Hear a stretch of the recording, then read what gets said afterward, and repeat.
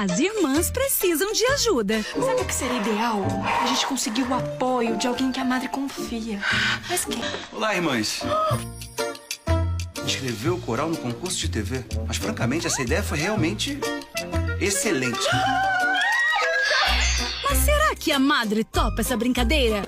Essa equipe tá aqui para te entrevistar. Se ela levou o coral e o colégio Doce Horizonte pra glória. Nesta segunda, uma e meia da tarde.